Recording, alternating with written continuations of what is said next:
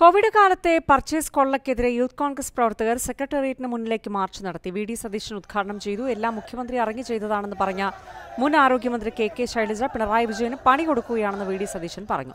Covid കൊള്ളയിൽ മുഖ്യമന്ത്രി മറുപടി പറയണമെന്നും വി. ഡി. സതീശൻ ആവശ്യപ്പെട്ടു.